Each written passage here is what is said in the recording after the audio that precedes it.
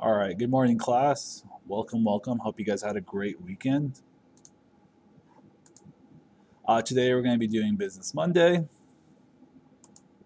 So what is today? Is today Monday, Tuesday, Wednesday, Thursday, or Friday? What day is it? Parents, please assist the students underhand to select Monday on their speaking device.